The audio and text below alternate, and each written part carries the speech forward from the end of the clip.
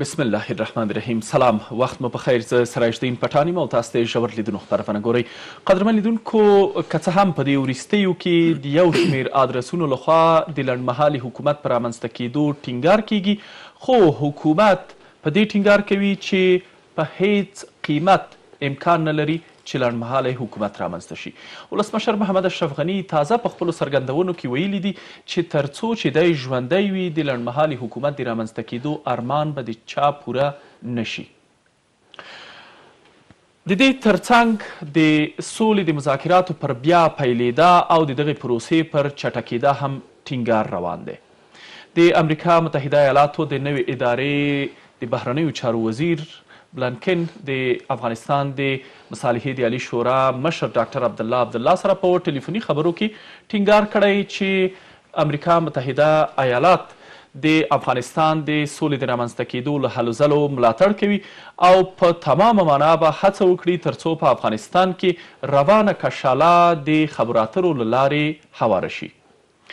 د مصالحې د عالي شورا په وینا، د امریکا د حکومت له خوا د روان تاوتریخوالي په تړاو خواشیني څرګنده شوې ده او ویل شوي دي چې پر طالبانو باید لازم فشارونه راشي ترڅو د تاوتریخوالي نه لاس په سر شي. په ټوله کې نننی بحث مو همدې موضوعاتو ته ځانګړی شوی. څومره امکان شته چې یو لنډمهالی حکومت دې رامنځته شي اود افغانستان کشاله یا مازله دې پرې هواره شي او یا هم لنډمهالی حکومت لکه ځینې چې تعبیروي چې ځینې ننګونې اوستونزې درلودلی شي اوکیدای شي تیرې ترخې تجربې یو ځل بیا تکرار شي ددې څه څومره احتمال یا امکان شته همدا راز که چیرته لنډمهالی حکومت نه رامنځته کیږي بیا به د افغانستان د روانې کشالې د حل لار څه وي همداراز د سولې پر روانو هڅو او په ټپه درېدلو مذاکراتو باندې به هم بحث ولرو. په مېز کې راسره مېلمانه دي، ښاغلی ډاکټر معین څمکنی، د حق او عدالت ګوند او د جنوبي قومونو د یووالي شورا مشر او ښاغلی ډاکټر محمد زلمی افغانیار، د افغانستان د ملي یووالي د ائتلاف د رهبرۍ شورا ارشد غړی. قدرمنو میلمنو ښه راغلاست ستړي مه شئ. ډاکټر صاحب که بحث له تاسې پیل کړو، ولسمشر غني یو ځل بیا پرون په دې ټینګار کړی چې لنډمهالی حکومت به نه رامنځته کیږي او تر څو چې دی ژوندی وي دا څه امکان نه لري. د طالبانو وړاندیز په دې وروستیو کې د لړمهالي حکومت رامنځته کیدل یا د ولسمشر ګوښه کیدل ول یا ادې اقل د دې حکومت منحلېدل یا له منځه تلل ول. د تاسې په باور دا د لنډمهالي حکومت موضوع څومره جدي ده یا څومره فکر کوئ چې دا یوه د حل لار اوسي؟ مننه، بسم الله الرحمن الرحیم. تاسې ته او ګران مېلمه ته او ټولو لیدونکو ته نیکې هیلې او پیرزونې وړاندې کوم. مننه. اصلا موضوع د لنډمهاله ادارې چې په وروستیو کې د طالبانو د رهبري هیئت غړي عباس ستانکزي په مسکو کې وکړه، ورسره جوخت د افغانستان ډېر ولس په دې باندې عکس العمل وښودو چې دغه اداره ممکنه نه ده، ځکه لنډمهاله اداره په د حکومتونو په چوکټونو کې وي، خو هغه مشخص شرایط لري اوس فرض کړه کله چې د ډاکټر نجیب حکومت همداغسې چې ویو چې زه استعفا کوم یوې موقته ادارې ته یې پرېږدم نه هغه موقته اداره را ورسېده د پېښور نه او نه دلته تزلزل پیدا شو د خلکو په منځ کې هله ګله بالاخره د ګیلمجم ملیشې راغلې کابل ته په چې په پایله کې ډاکټر صیب نجیب غوښتل چې هند ته لوټ شي، بالاخره هغه یې را وګرځوو، یوه کودتا وشوه، شورای نظار بالاخره په کابل باندې حمله وکړه چې په پایله کې ټول کابل ونیو، هماغه و چې په همغې لنډمهالې ادارې چې صدراعظم به یې په یوه ځای کې و، رئیس جمهور به په بل ځای کې و، په خپل منځ کې په جګړو اخته شوه چې دا خپله په هماغه وخت کې څه چې بنسټونه وو ټول دې منځه لاړل له بده مرغه. بیا وروسته د دې نه چې کله د طالبانو رژیم رامنځته شو، طالبانو څه کم په ټوله افغانستان باندې قبضه لګولې وه، خپل قوانین یې پکې نافذ کړي وو، خو کله چې د یولسم سپټمبر مسله پېښه شوه، په افغانستان باندې وروسته حمله وشوه، نو په هغه وخت کې د طالبانو هماغه هر ډول حکومت چې وو، بالکل د منځه لاړو، ادارې صفر شوې. نو په دې اساس په هماغه وخت کې چې نړیوال قوتونه په افغانستان کې وو په بن کې بالاخره خبرې اترې پیل شوې د څو جانبو له خوا چې په پایله کې یوه لنډمهاله اداره رامنځته شوه وروسته د هغې نه بیا سرپرسته شوه د هغې نه وروسته بیا ټاکنې وشوې نو په هغه وخت کې دغه بلانس د قواو چې ډېر تفاوت یې لرلو عملا نظامیانو د بهرنیو نظامیانو هغه نیولی و دا امنیت نیولی و. په اوسنیو شرایطو کې چې د دې لنډمهالې ادارې بحث کېږي، دا به لږ څه مناسب په دې نه وي چې اوس موږ هغه دور کې نه یو، اوس دلته بنسټونه شته، څلورمه دوره د ریاست جمهوري ټاکنې ترسره شوې دي، په دې کې کاملاً هم په خصوصي سکتور کې هم په دولتي سکتور کې ډېر پرمختګونه شوي دي، بالاخره د لنډمهالې ادارې لپاره اوس مناسبه نه ګڼو. ښه ډېره ښه ډاکټر صاحب دغه لنډمهالې اداره یا لنډمهالی حکومت یو وسیله ده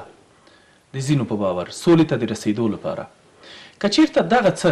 سم مدیریت شي او نړیوال تضمینونه موجود واوسي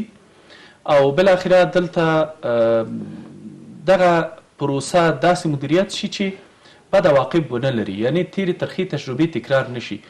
بیا څومره فکر کوئ چې یو منطقي یا معقوله د حل لار واوسي ځکه ځینې بیا په دې اند دي چې نه لنډمهالی حکومت سل په سلو کې په دې معنا چې موږ به په شاتګ کوو موږ به بیا جګړو ته ورګرځو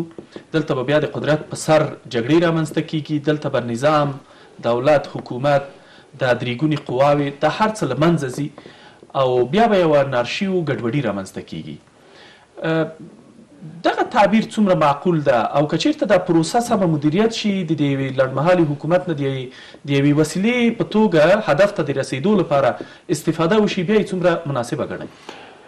مننه لړمحاله ادارې په وجود کې هغه نړیوال قراردادونه یا د کور د ننه چې د لسو میلیونو نه پورته وي هغه قراردونه په اتوماتیک ډول د منځه ځي په دې کې قانون اساسي له فعالیت لوګي د ځواک نه لوګي د دغه په څنګ کې هغه درې قواوې چې وایي مقننه قوه ده هغه هم خپل صلاحیت د لاسه ورکوي په پایله کې به رئیس جمهور که هغه و په فرمینو به کار کوي چې دا په خپله د حکومت هغه کوتي ته اچول دي په هغه وخت کې به د هغه ادارې نه به هیڅوک ننګ او ملاتړ نه کوي ځکه هغه په دا هر وزیر هر قوماندان هر څوک به په دې پوهیږي چې دا سړی په راتلونکي کې نه دی نو چې نه دی بالاخره د ده به ډېر زیات اطاعت نه کوي، هغو چا سره به اړیکو ته پراختیا ورکوي چې دوی په دې باور دي چې دغه به په راتلونکي کې په حکومت کې مطرح وي. خو ستونزه دا ده چې طالب حکومت ته نه تسلیمېږي یا غاړه نه ږدي او حکومت طالب ته. بالاخره فکر نه کوئ داسې یو دریمګړي ادرس ته اړتیا ده چې دا ټولې خواوې پرې توافق ولري او بالاخره یو ټول منونکي یا ټول شموله پراخبنسټه حکومت ته زمینه سازي وشي. هو، دا تر ټولو مهمه دا ده چې زما په اند که چېرې ښه به دا وي چې اول په د افغانستان په مسایلو نې یو نړیوال کنفرانس دایر شي چې په هغه کې د افغانستان د جنګ علل او علت معلوم کړي، په دې باندې بحث وکړي، د افغانستان جغرافیه، تر بحث لاندی ونسی د هغو هغه خپلواکی تر په فکر کې ورته ونسی چې دا ټوله په په یو چوکاټ کې په یو فیصله کې چې د امنیت شورا دایمي غړي جامع علل بدل غړي چې دا پریکړه وشوه په هغه کې به هغه اساسي خطوط معلوم شي بل اخره به تضمینات رامنځته شي چې د یو تضمیناتو په هغه کې به داسې تضمینونه باید وي چې که چیرې کوم هیواد دغه پریکړه لیک ونه منه په یغه هیواد نه به اول اقتصادي بندیزونه لګیږي او که موثر نه وو نو بیا به په صورت کې به نظامی پلان هم په نظر کې ورته لري یعنی د افغانستان نه دباندې هم باید د افغانستان د قضیې مسایل په پام کې ونیول شي. یقینا ځکه په دا تول د دوه څلوېښتو کالو کې ټوله نیابتي جګړې دي، نیابتي سیاستونه دي، ډیری هیوادونه په د ننه په هیواد کې هم نظامي ټولګي لري، هم سیاسي ټولګي لري همداسې وغیره نو دې ته په کتو سره ښه به دا وي چې دغه پرېکړه وشي په دې کې به نو افغانستان بالاخره یوه باثباته او تلپاتې سولې ته به ورسېږي ثبات یې په دې معنی سوله خو به وشي ثبات یې په دې معنی چې رغول هغو دپاره به دي وي چې یوه جهیز صندوق جوړ شي چې په هغه کې ټول هېوادونه مرسته وکړي بالاخره دا مرستې د وزارت مالیې له ادرسه ولګول شي چې تر څو بیا ورکړي شي تقریبا د نن نه دوه لسیزې وړاندې ترسره شول، دغه هر څه چې تاسې وړاندوینه کوئ، داسې نړیوالې ټولنې د افغانستان د قضیې په بابت یو کنفرانس ترسره کړو، د افغانستان لپاره مرستې را ټولې شولې، دلته بهرنیان راغلل او دغه موارد او مسایل ترسره شوي، یعنې یو ځل بیا د یو ځل بیا په دې کې هغه ستره ناقصه په هغه وخت کې دا وه چې د بن په کنفرانس کې نه حکمتیار ته بلنه ورکړل شوه او نه د طالبانو غورځنګ ته چې دا دواړه څنډې ته پاتې شول لکه لکه دا نن چې د مذاکراتو نه د افغانستان حکومت پیڅي ته پرېښودل شوی دی نو اوس چې طالبان حکمتیار صاحب جامع اوسني دا سیاسیون ټول که چیرې په یوه میز نه چې اوس سره تقریبا جمع دي ځکه طالبان هم اوس د افغانستان د سیاست یوه قوي برخه ده هم په نظامي ډګر کې هم په سیاسي ډګر کې نو د دې ته په کاتو سره هغه تضمینات د یو هیوادونو چې موږ له لاس پرې شي نو په صورت کې لازمه ده چې داسې پریکړه وشي که بیا په صورت کې یو سرپرسته اداره رامنځته شوه هغه دي درو نه تر څلورو کلو پوري دي وي خو پوره د حکومت صلاحیتونه دي ورسره وي. ډیره ښه ډیره مننه ډاکټر صاحب له سعودیه راوګرځم افغانیار صاحب خب دی اواخر انتقادا یا عکس العملا پیرامون حکومت موجود به اوج خود رسیده از ملای هیراتی گرفته تا به رهبرای جهادی در کابل و تا به ملیشا و افراد و اشخاص غیر مسئول در میدان وردگ و بعض از ولایات دگی که حکومت واقعا چلنج کرده و داره علیه حکومت سفارایی ایجاد شده به نظر شما تمام از این مسائل چقدر فکر میکنین که باعث از این خواد شد که بالاخره این حکومت سقوط کنه یا سران حکومت تسلیم یک اداره و یک حکومت موقت با وجود از که رئیس جمهور غنی یک بار دیگه تاکید داشته که به هیچ قیمت گردن نخواد بانده روی کار آمدن یک حکومت موقت تا که نفس در تن داشته باشد. بسم الله الرحمن الرحیم عرض حرمت خدمت شما پتان صاحب خدمت جناب دکتر صاحب و بیننده های شما و یک سلام خاص میخوام داشته باشم به خانواده های شهدای مردم افغانستان خاصتا شهدای نیروهای دفاع امنیتی افغانستان که در راستای حفظ تمامیت ارزی رزمیدن شهید شدن سلام به خانواده هایشان و یک سلام خاص هم به فرزندان صدیق وطن نیروهای امنیت دفاعی که تا می لحظه به خاطر حفظ منافع ملی میرزمند خانتان آباد موفق باشید جناب پتان صاحب بیاین ما و شما واقعبینانه صحبت بکنیم و چیزی را مطرح بحث قرار بدیم که مردم ما میخواهند مردم ما صلح میخواهند مردم ما آرامش روحی روانی را میخواهند مردم ما چهل سال در جنگ و بدبختی در سردرگمی قرار دارند بله. و تمامش برمیگرده به این رهبران سیاسی که حال اقتدار از یا صدا بلند میکنند که ما حکومت موقت میخواهیم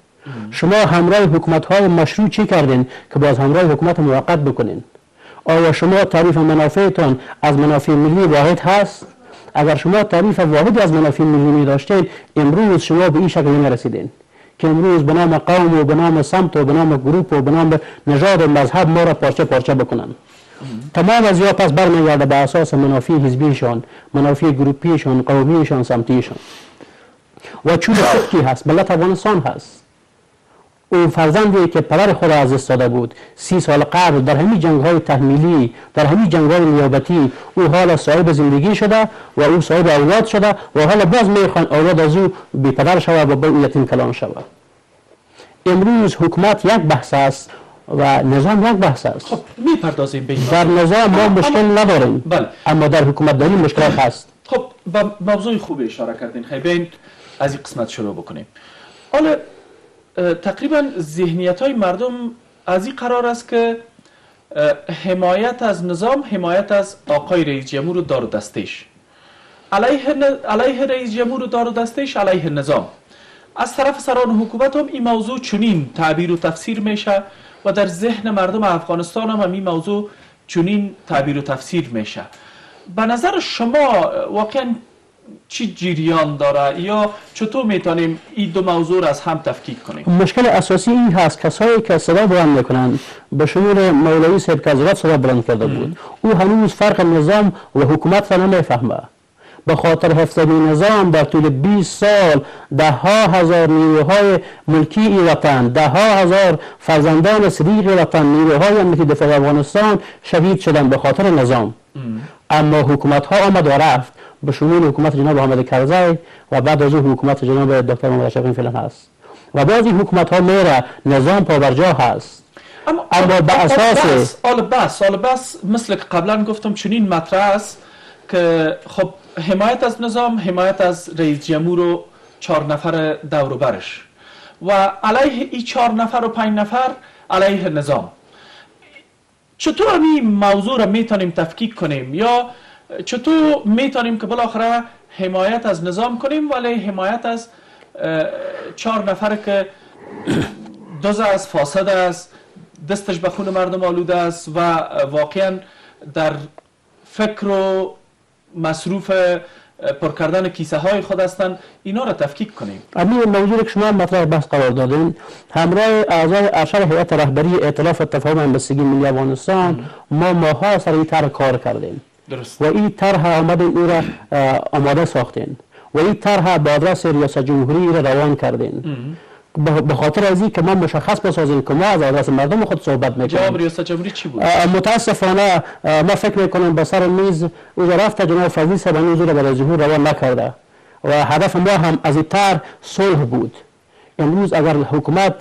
در جنگ هست و گروپ جنگی طالب در جنگ هست همی فاصله میان حکومت و ملت در حال زیاد شدن هست و بیباورمندی ها زیاد شدن هست ما کوشش کردیم که ائتلاف تفاهم ملی همبستگی این مشکل حل بسازد چند پیش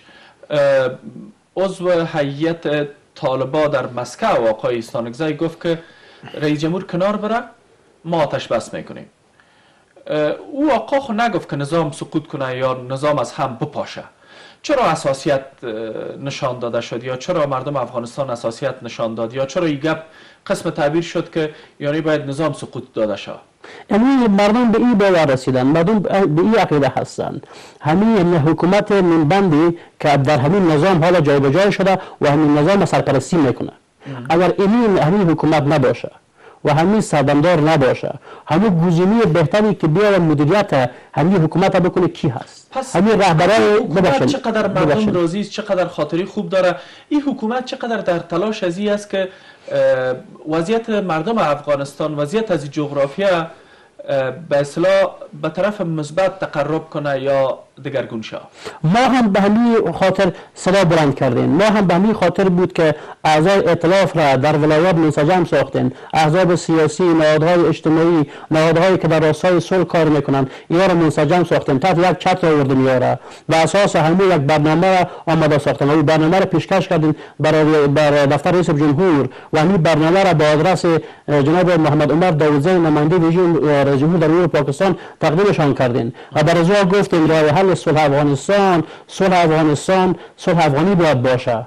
اگر جنگ ما جنگ افغانی نیست اما صلح ما باید افغانی باشه بیاین شما به ملت مراجعه بکنین به قریه قریه جات ولسوالی ولسوالی ها ولایت ولایت باید افغانستان میشه امروز شما نمیتوانین در قریه و قصبات تامین امنیت مردم را بکنین بر مردم بفهمانین که صلح چی است جنگ چی هست شما سفر میکنین به کشورهای بیرونی و از کشورهای بیرونی شما صدا بلند میکنین که ما در رأس نظام کی نباشه همی در رأس نظام شما که میخواهین که شما باشین و بر افغانستان بم حکومت بکنین همی رهبر شما در راستای صلح افغانستان چرا صدا بلند نمیکنه. اگر رئیس جمهور افغانستان صدا بلند نکنه امرالله خان سلوی صدا بلند نکنه معاون دوم صدا بلند نکنه امیر جناب ملا هیبت الله چرا صدا بلند نمیکنه وقتی که او رهبری گروپ طالب به عهده داره بیا او هم یک بیانیه بده یک صدای خود بلند بکنه از طریق همین مطبوعات و بیرونی که ای ملت افغانستان ما این چیز برتان میخواهیم او هم بیان کوشش کنند که از این مدیریت خارجی ها بیرون شوند اگر 20 سال پیش امریکایی ها لشکرکشی کردن به افغانستان آمدن شما موضوع حکومت موقت نفی است. نفی است. حکومت موقت به نفع ملت افغانستان نیست. ای به نفع کشورهای بیرونی است. در افغانستان جنگ منابع و منافع هست. پس رای حل به نظر شما چی است؟ یعنی وقت طالب.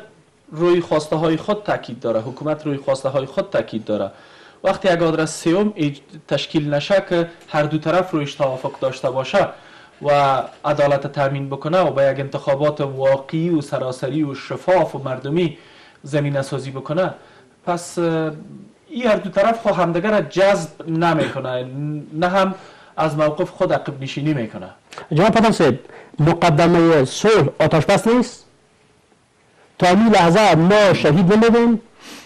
همی امشب در کاتب پروان انفجار نشد آیا این انفجار شهید زخمی نداشت آیا همی کسایی که در این موتر شهید شدن زخمی شدن امریکایی بود انگلیسی بود فرانسوی بود عضو اتحادیه اروپا بود نبود افغانی بود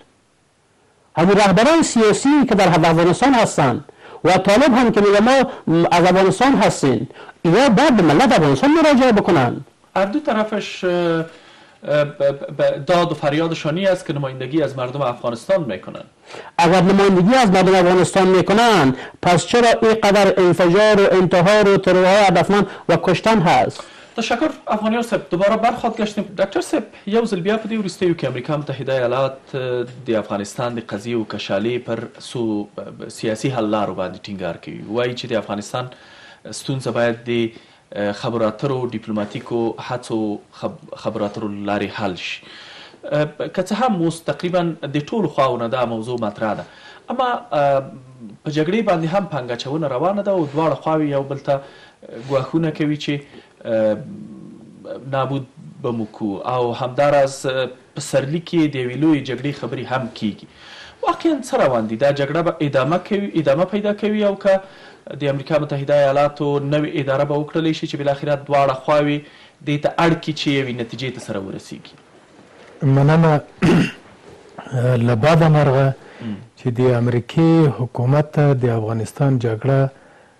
یو ټاکنیز کمپاین برابر شوی دی، یو شعار یې شوی دی.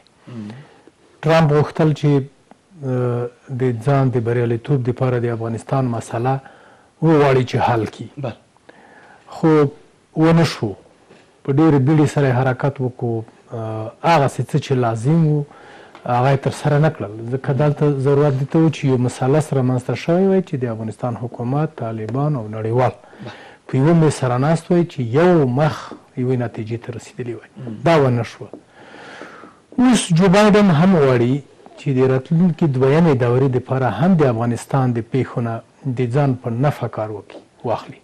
یعنې دا جګړه به تر هغه وخته روانه وي؟ ممکن، ځکه دلته د سوله ییز حل دی. دا خو واقعیت دی چې دا سوله ییز حل ځکه لري چې اوس که چېرې دوو لویو قوتونو یا د دوو پوځونو سره جنګ وای، په هغه صورت کې بیا د جګړې په صورت کې کېدلی شول چې یو لوری مات شي، صلح راشي. خو دلته داسې یوه جګړه روانه ده چې د هغه څو اړخونه لري. یعنې داسې که فکر وکړې د د پنځوس اړخونو نه زیات اړخونه لري، کور د ننه، د کور نه د باندې، څوک اوبه غواړي، څوک مځکه غواړي، څوک کانونه غواړي، څوک د قومي مسایل رامنځ ته کوي، خو په شکل د اشکالو سره په دې ساحه کې یوه جګړه به روانه وي، دا جګړه زر نه شي ختمېدلی، زما په فکر. څومره د دې جګړې د درېدو لپاره کار شوی یا فکر کوئ چې بنسټ یا تهداب اېښودل شوی د دې جګړې دې لمنځه تلو لپاره را یا درېدو لپاره؟ دا د کور دننه یې که پیل کړو. د کور دننه خو اوس ګوره پخوا به همدغو خلکو چې دا نن د حکومت په بدنه کې په شکلو د اشکالو سره ځای لري هغوی یو وخت کې یو بل په ټوپکو ویشتلو نن دوی تظاهراتو ته نیت دی، نن دوی خپل نظر وړاندې کولو ته تیار دي. علاوه د دې نه په د دوه زره یولسم دولسم نه مخکې په دغو کالو کې د افغانستان په جنوب کې ډېر اور بل و چې د د افغانستان شمال ورته ننداره کوله په یو شکل د اشکالو سره. بیا د یغه نه را وروسته د د دوه زره اتلسم نه وروسته بیا په شمال کې ډیره زیاته جګړه ونښته چې اوس دغه جګړې شمال او جنوب شرق او غرب مرکز د ټول سره په یوه اتحاد کړل چې دغه د جګړې لپاره د پای یو میکانیزم را جوړ کی انا غدا چې اوس دوی چې کله مسکو ته نه دوه ته حکومت حیات وټاکو نو په هغه کې هغه د شمالیونو چا پخوا یې ننداره کوله هغوی ډېر کوشش کولی چې په دې کې خپل ونډه پیدا کړي چې تر څو دوی هم د راتلونکي سیاست نه د باندې پاتې نه شي همداسې د دې نه سوا امریکایان غواړي چې دا جګړه تر هغه وخته پورې په شکلو د اشکالو سره څپ څپانده اوسیږي یا کم لږه زیاته اوس لکه اورکم اصطلاح اورکم اصطلاح خو دا معنی لري چې لاس ته پره چې مړه کیږي پنځه دې مړه شي پنځه دې مه مري جګړه دې لږه راکمه شي یعنې داسې مه وایي چې جګړه دې بنده شي ده جګړه به په هغه صورت کې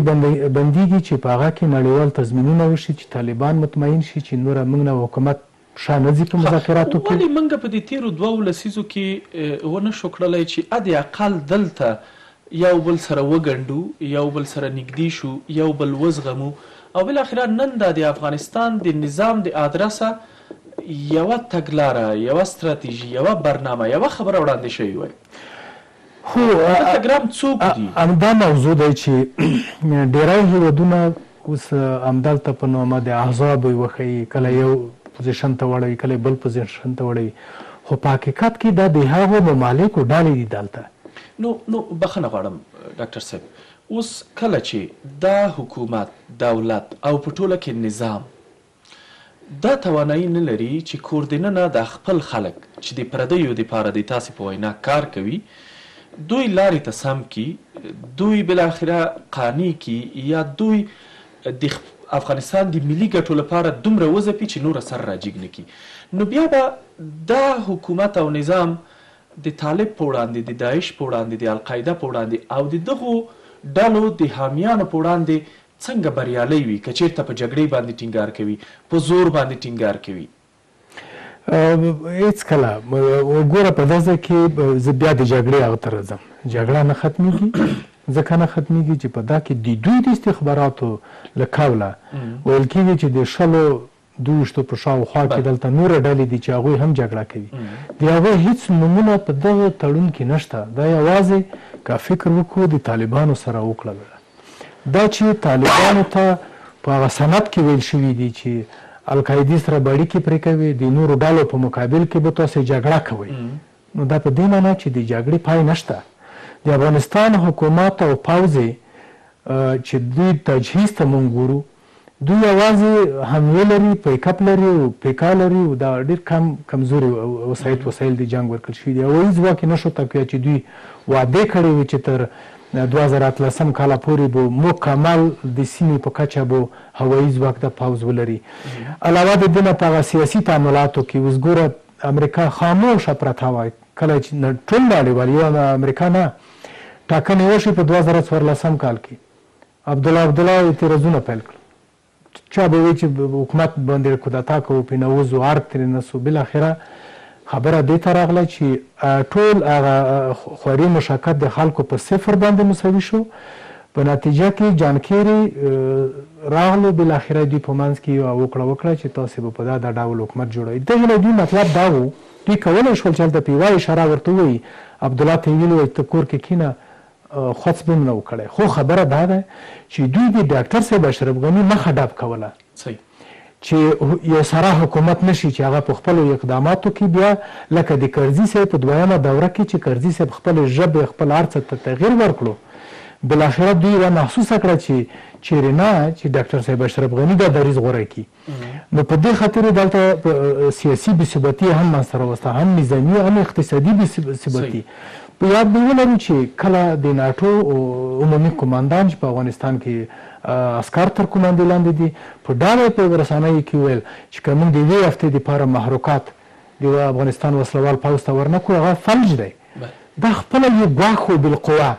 چې تاسې په خپل سر څه نه شئ کولی، تاسې په نوم پسې وابسته يئ. اوس نو په پولنډه کې، په افغانستان کې که ګاونډي دي، که ورېښه خلک دي، د سيمې په کچه دي او که د نړۍ په کچه خلک دي، هغوی دلته داسې يو قوي، با اقتداره حکومت نه غواړي چې هغوی بيا وروسته د دوی د ګټو په مقابل کې چې دوی مدنيات استخراجوي، غلاوي کوي چور کوي د يغو مخه ونسي نو په دي اساس باندي دلته د همدغي په پاليسۍ کي به کله دي خوا کله دي خوا تر څو پوري چي دغه څو کاله پوره شي چي تر څو د بي اس اي د تړون هغه لس کلنه موده پوره شي نو په هسي صورت کي به بيا دغه موضوع به وړاندي کړي هر حکومت چي راغلو بيا به يغو سره له سره تجديد کړي او امضا به يې کړي. مننه ډاکټر صاحب تاسو ته بیا راوګرځم افغانیار صاحب خب چقدر حمایت از حکومت و کسایی که در رأس حکومت فیلی هستند به نفع جو سیاسی کنونی میتونه تمام شوه یا به نفع مردم افغانستان یا به نفع منافع ملی افغانستان میتونه تمام شد جناب پتاسب هدف ما و شما و یک تعداد دوستایی که به خاطر منافع ملی صحبت میکنین برای ما منافع ملی ما مهم هست بله. برای ما ادامه و بقای یک تعداد در ارگ و سپیدار ریست به خاطر از اینکه حکومت ها میاین و میرن دو سال از وقتی حکومت گذشت و سه سال از گیش میگذره اما هر لحظه انفجار و انتحار و شهید مردم افغانستان میدند نیروهای امنیتی افغانستان میدن بله. و ما پس اگر بیایم به تحلیل داشته باشین پیرامون تمام اوضاع سیاسی برخورد دوگانه امریکایی ها همراه حکومت افغانستان هست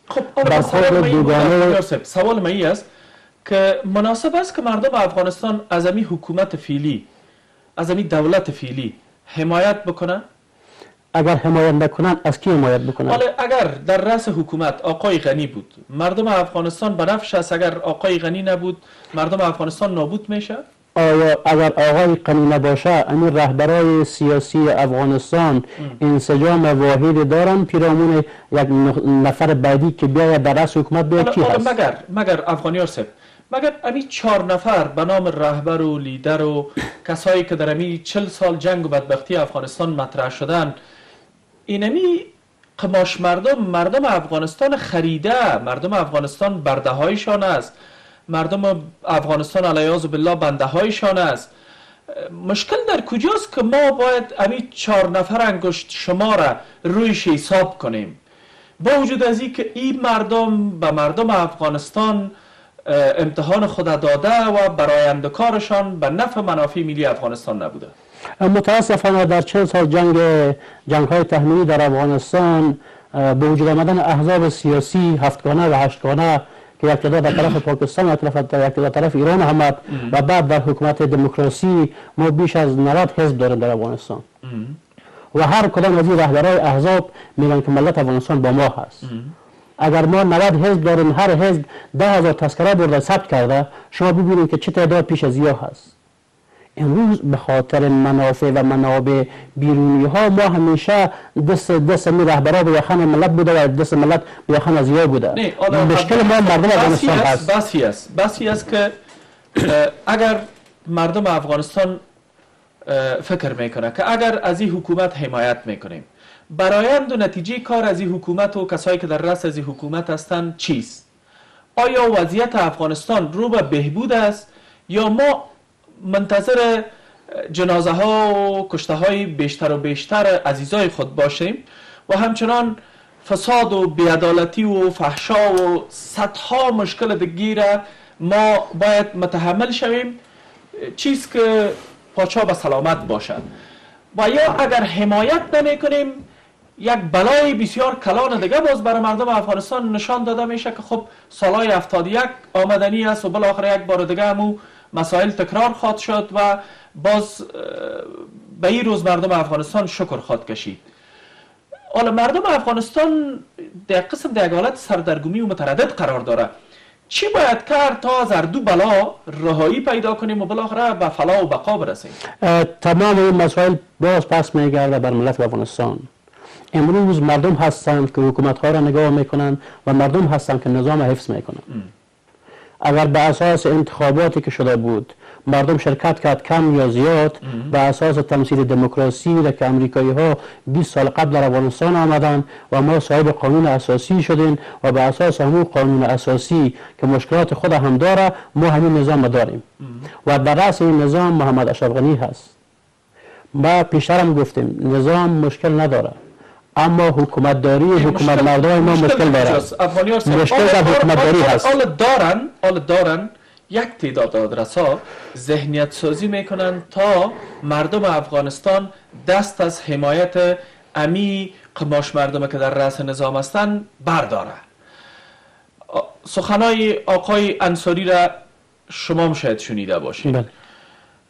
تعداد از رهبرای جهادی، تعداد از سیاسیون، تعداد تعداد واقعا حق به جانب هم هستند البته نامایشان نمیگیرم که اکس وای زیت یا کیو کی اما تعداد حق به جانب هم هستند به خاطر که دیده میشه یک چهار نفر آرام هستند در پشت ده ها پرده خود مخفی ساختن موتر خانه دفتر عیش نوش پیسه فساد همه چیز انجام میتن ولی مردم افغانستان به خاطر بقایشان به خاطر منافع شخصی از اونا دارن قربانی میتن و هر روز جنازه ها جنازه های از این ملت زیر خاک دفن میشه آیا در طول چهل سال جنگ های تحمیلی در افغانستان این مردم شهید ندادن خو ندادم یتیم نشدم تا زمانی که ملت تا زمانی که تا زمانی که ملت بیدار نشوه ملت آگاه نشوه و دا یک جمع از سیاسیون به اصطلاح سیاسی افغانستان که تعریف واحد از منافع ملی ندارند حالا سوال من این یا تعریف واحد از منافع ملی ندارند سوال پیشتر خود حمایت از امی حکومت حمایت از آقای غنی دارو دستیش کار منطقی و عقلانی است باید مردم افغانستان در حمایت از اینمی مردم به حمایت از امی مردم ادامه بته. جناب پتان صاحب ما گفتیم که بحث حکومت یک بحث است نظام یک بحث است خب نظام حکومتداری مشکل داره دجایش حکومتداری مشکل داره شاید اکثریت مردم افغانستان طرفدار نظام جمهوریت باشه با واقعیت است خب شاید مردم افغانستان نخواهد کمی دستاوردهای دو دهه پسین از دستشان بره بله. مردم افغانستان به هیچ قیمت نمیخواهد که سرکش بدگر دیگر روی و ایران شوه مکتب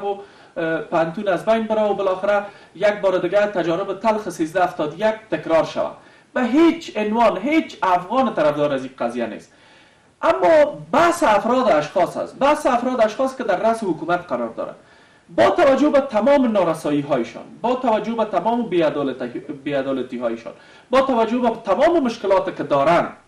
تمام مشکلات که دارند که در این اواخر یک جناب از حکومت میگه که خب تعداد از مردم افغانستان بیکار میشه بیکار شوه ظرفیت نداره و کار کرده نمیتونه و پنتونی افغانستانی ظرفیت نداره که کسایی را فارغ بده که به درد حکومت بخوره ما حکومت داری را نمیفهم دیجیتالی میسازیم و خب حکومت نمیتونه که برای چندین میلیون جوان ایجا جای کار ایجاد کنه در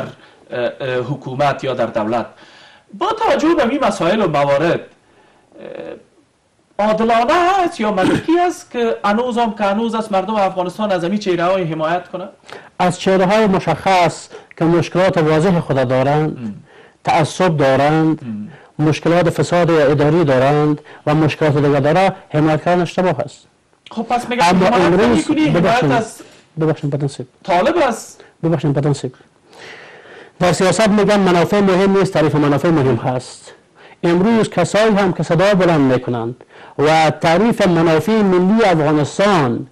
حمایت از جغرافیای افغانستان حمایت از قانون اساسی افغانستان را با نام افراد و اشخاص گره میزنند اگر بگی از حکومت دفاع بکنین از نظام حکو دفاع بکنین گویا که شما از اشرف غنی دفاع کردین گویا که از محب دفاع کردین گویا که از فضلی دفاع کردین خو در رأس از امین نظام حکومت امین احزاب سیاسی وظیفهش چی هست نهادهای جامعه مدنی وظیفهش چی هست امین رهبرای سیاسی که آمدن از وزارت عدلیه افغانستان جواز گرفتن امروز ادعای رهبری امین امین امین امین افراد اشخاص که بالاخره گپ به گفتن داره و صدایشان یک چار نفر مشنا خو هر روز مثل شما داد میزنند اما کی است کی است و کجا است او گوش شنوا و چشم بینا که بالاخره بشنوه و بگویه که خب ملاحظه داری انتقاد کردی پیشنهاد داری بیا بیا در اگر قناعت داده میتونی مرا اگر واقعا اوضاع را به طرف مثبت میبره ای نظر و پیشنهاد و انتقاد تو بیا بسم الله یا الله بیا گپ ته مشنوم اما تو یک کس هست دمی حکومت که همی گپ بشنوی؟ همی نهادهای جادوی و مدنی، همی رهبرای احزاب سیاسی کلان که میگن ما رهبرای احزاب سیاسی کلان هستیم، کدام روز آمدند استاد شدند در بر اساس منافع ملی پانزده بیست نفر از یک جای شدند؟ هر کدام دیگر را طرد کرده میرند، هر کدام دیگر را نفی کرده میرند، هر کدام سر دیگر از صفحات فیسبوک صدا کرده میرند، توهین کرده میرند. یک یک غیر قبول نمی ببخشید یک یک ببخشید یک یک غیر قبول نمی کنند او باز می خواهند تعریف منافع خود تعریف منافع حزب خود تعریف منافع قوم خود تعریف منافع سمت خود به خاطر گرفتن قدرت سیاسی بکنند ملت برای زه متای بس نیست تشکر دوباره برخواد گشت ډاکټر صاحب د افغانیار صاحب ځینی خبری فکر کوم تاسو تم متوجه وی تاسو هم دیو مطرح سیاسی ګوند پراس کې هستی مشري کوي همدا راز د افغانستان تقریبا یوه لویه برخه چې جنوبي ولایات دي د دې د قومي او سراسري شورا په راس کې هستئ او جنوبي خو داسې سیمه ده چې د دغې سیمې ولایات ولسوالۍ قومي جوړښتونه لري او هر کله یې د تاریخ په اوږدو کې خپلې لویې کشالي او ستونزې د قومونو جرګو عنعنو کلتور او فرهنګ له اړخه وادرسه حل کړي دي اساسا د جنوبي قومونو یووالي شورا یا د عدالت د حق او عدالت ګوند څه تګلاره څه برنامه څه وړاندوینه یا څه حل لار لري د افغانستان د روانې کشالې په تړاو؟ مننه د ګوندونو په ارتباط چې افغان صاحب خبره وکړه اوس حکومت لاس په کار شوی دی نوی وزیر صاحب د عدلیې چې هغه کې دوی یوه ارزونه وکړه په ټول افغانستان کې بالاخره یې شل ګوندونه مقتدر وګڼل چې د د احزاب د قانون په برابر باندې برابر وو دا نور دوه پنځوس ګوندونه تقریبا داسې وایي چې د لیست نه ولول ښه اوس هلته چڼ روان دی دا دی دغه شلو کې راغلی یاست وو د حق و عدالت ګوند په دې شلو ګوندونو کې پکې دی ورځ په ورځ کې دی سبا ته لا بل ورځ ته لاس شي بل ورځ ته پنځه شي چې ترڅو دغه ملي ولسواک ګوندونه بالاخره یو ګوند جوړ کړي او خود تقویه شي چې څو خپله مبارزه وکړي دې. دغه دغه که څه هم دې موضوع نه به لرې لاړ شو خو دغه پروسه څومره فکر کوئ چې شفافه وي، څومره فکر کوئ چې رڼه وي او څومره فکر کوئ چې دلته د زورواکي او دا مسایل ډېر مطرح نه وي ځکه حق او عدالت ګوند هم یو له هغو ګوندونو ده چې په دې شته حکومت کې تاسې هم مطرح د تاسې د ګوند غړي تقریبا په مهمو څوکیو کې دي یا داسې نور ګوندونه به داسې افراد او اشخاص لري یعنی دغه زورواکي یا په اصطلاح په حکومت کې نفوذ او رسوخ څومره مطرح ده په دې پروسې کې یا نه ده نه په دې کې هیڅ مطرح نه دی ځکه اول دې موږ د ګوند په مورد چې زه ووایم دې ګوند له ادرسه حکومت کوم ګوند ته ونډه نه ده ورکړې. یعنې ښاغلی اتمر د بهرنیو چارو وزیر د ګوند له ادرسه د بهرنیو چارو وزیر ده او که شخصي مطرح ده؟ نه، خپله اتمر صیب یوه ډېره قوي او مطرح سیاسي څېره ده، نو په دې وروستیو کې خو د حق و عدالت ګوند د خپلې اساسنامې پر بنیاد د ولسمشر نه ملاتړ وکړو اشرف غني نه نو په تیر کې چې کوم موږ د ډاکټر صاحب اشرف غني سره په 2014 کال کې ولاړو که مبالغه نه وي تقریبا موږ دا ویاړ ور وبخه خو موږ ته یوازې د شورای امنیت چوکي راکړه چې هغه هم ډیره په اوایلو کې ښه وه وروسته وروسته الکې پرې راټینګیدې چې تر څو اتمر صاحب استعفا ته مجبور شو نو دلته زورواکي مطرح نه وه په دې کې هغه شرایط چې دوی ورته یې خودي وو هغه شرایط یې پوره کړي وو نو علاوه د دې نه د جنوبي قومونو په هکله د چې وویل جنوبي قومونه د تیر په شان اوس نه دي هغوی په علمي ډګر کې ډېر پرمختګ کړی دی، پوهنتونونه جوړ شوي دي، ښوونځي دي، هغوی اوس سیاست کوي. په دې کې که په یاد مو وي چې کله ښاغلي عباس ستانکزي په مسکو کې د موقتې ادارې یادونه وکړه، اولین په افغانستان کې ولایتونه وو چې خوست او پکتیا راپورته شول، دوی د دغه په مقابل کې خپل عکس العمل وښود. نو د جنوبي قومونو د یووالي شورا هم دې ذهنیت ورکونو کې په هر ډګر کې حتی د طالبانو تم موږ دا وایو چې طالبان ولې ولې د ټکر سره مخامخ شول، ولې د طالبانو رژیم په هماغه وخت کې د منځه لاړو، موږ دایماً په دې باندې دریځ نیولی دی چې نن په کومه خوشحالۍ کې بیا تاسې هغه وسره کوئ، اوکړه وسره کوئ، په هماغه وخت کې مو رژیم د منځه نه وړو، موږ د طالبانو سره زموږ خلک ښه علایق لري، هم د حکومت سره هم لري. د نړیوالې ټولنې سرې پايلي تر څو اوس مو پورې. وړاندیز څه ده؟ اوس د جنوبي قومونو یا د جنوبي ولسونو وړاندیز د افغانستان د روانې کشالې په بابت څه ده؟ څه د حل لار بولئ؟ اوس ګوره مونږ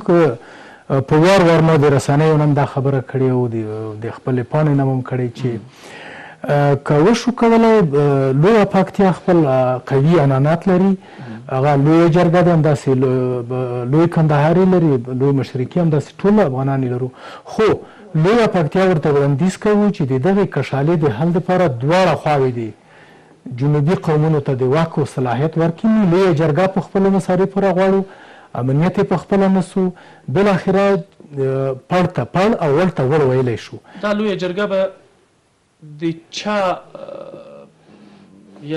یعنی د دولت که د طالبانو په ساحه کی رامنځته کیږي یا به په اصطلاح د چا تر چتر لاندې یا د چا تر ملاتړ لاندې که څه هم ومو ویل چې د تاسې په مالي لګښت یا د ولسونو په ادرس اما اوس خو طالبان ادعا کوي چې اویا سلنه جغرافیه له موږ سره ده او حکومت وایي چې له مونږ سره ده دا به چیرته رامنځته کیږي دا جرګه که چیرته په کابل کی رامنځته کوئ خو اتومات ټاپه درباندې لګیږي چی حکومتی جرګه ده او که چیرته په اطراف کی په دې بابت کی یو څه ناڅه رڼا ورکړئ. په دې کې مونږ د خپلو عنعنو په ساتلو سره مونږ اربکی لرو چې مونږ نه د طالبانو قواو ته اړتیا لرو نه د حکومت ته د اربکي په استادو امنیت نیول کیږي مونږ دا جرګي نه په تعمیراتو کې کوو نه په بله هماغه ګرده حلقه تشکیلوو په یوه ډاګ کې کینو چې په هغه کې واقعا دا یوولس لوی قومونه چې دي دا پکې راټول شي هغو ته واک او اختیار هم حکومت او هم طالبانو لوري ورکړل شي نو مونږ د پريکړي قوت لرو. ډیره مننه کور ودان دکتر صاحب خب رای حل پیشنهادی شما چیست ایتلاف میلی چی برنامه داره و همچنان رای حل در چی میبینین یک رای حل باشه که واقعا بر هر دو طرف قابل قبول باشه یک رای حل منطقی و معقول و عملی. رای حل ائتلاف تفاهم ملی همبستگی ملی ای هست که ما صحبت خود را به ارگ رساندیم بر سپیدار رساندیم منتظر پیام از یا هستیم ما صحبت های خود اگر جواب نیامد باز به سنگ مردم افغانستان میرسانیم که حکومت مردها کسایی که در رأس پروسه صلح قرار دارند و کسایی که در ارگ هستند او صلح نمیخواهند ملت شما آگاه شوین. سفرها و نهادها احزاب که در ولایت هست صدایشان صحبتهای خود می داشته باشد مردم که از قریه چی می خواهند قریه جات چی می خواهند ولسوالی چی می خواهند ولسوالی ها چی می خواهند ولایت ولایات باز افغانستان ای را جنب بندی کرده به ارگ و سپیدار و به جانب مقابل طالب نقصه تان چیست ببخشید امی را به طالب پیشنهاد میکنیم که مردم افغانستان از این صلح ای را میخواهند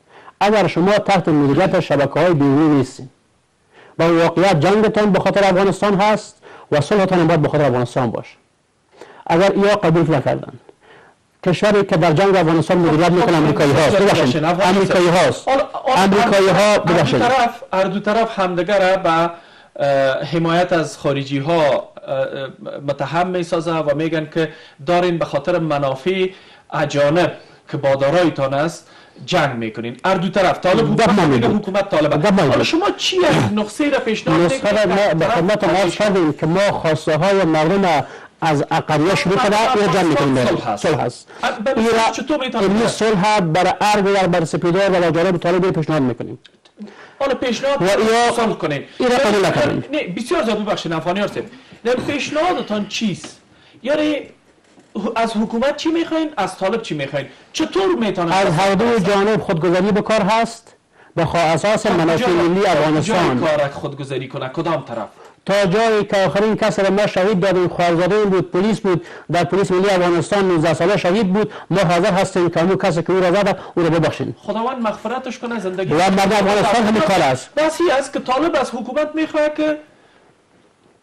کس که در رس حکومت است باید قرار برد و حکومت از طالب میخواه که بیاد تسلیم شو آنو چطور از دوی طرف میتونی حکومت میتی اگر طالب میاد میگه که عوض حکومت پس شو خب پس این یک پروژه بیرونی هست این پروژه ملی نیست نه همین همین نظر شما چیست یعنی طالب بیا در حکومت مدغب شوه وقتی که هدف طالب حکومت کردن بر ملت افغانستان هست آیا نباید به ملت افغانستان مراجعه بکنه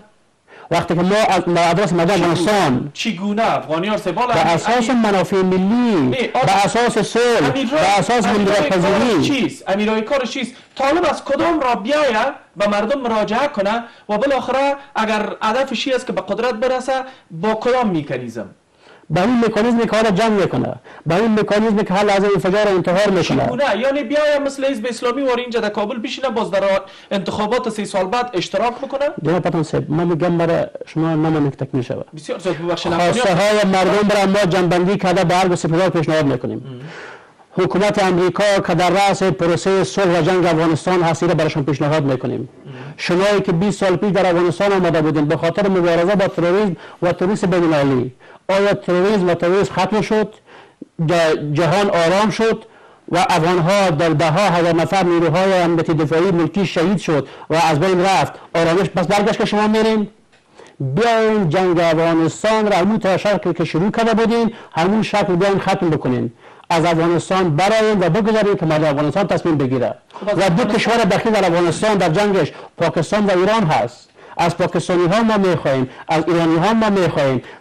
که به خاطر منابع ما به خاطر منابع ما منافع خو را در جنگ ما نبینند. بسیار زیات تشکر ښاغلی ډاکټر محمد زلمی افغانیار د افغانستان د ملي یووالي د ائتلاف د رهبرۍ شورا ارشد غړی او ښاغلی ډاکټر معین څمکنی د حق او عدالت ګوند او د جنوبي قومونو د یووالي شورا مشر چې زموږ بلنه مو منله او په بحث کې مو راسره ونډه واخیسته. کور ودان. قدرمن لیدونکو له تاسې هم نړۍ مننه تر بیا ښې چارې.